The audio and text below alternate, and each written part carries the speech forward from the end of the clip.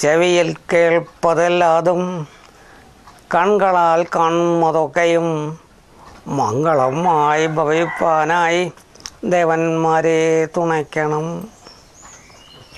ഉറച്ച മേകളാൽ ഞങ്ങൾ ആയുഷ്കാലം മുഴുക്കയും ദേവകാര്യാർത്ഥമായി തീർക്കാൻ ദേവന്മാരെ തുണയ്ക്കണം. എല്ലാം കാണുന്ന പൂഷാവേ മകവൻ കീർത്തിശാലിനെ അരിഷ്ടങ്ങൾ നീക്കങ്കരുട ദേവാചാര്യ ബൃഹസ്പതി ഞങ്ങൾക്കു സ്വസ്തി നൽകണേ. ജീവിതം ശാന്തമാകണേ.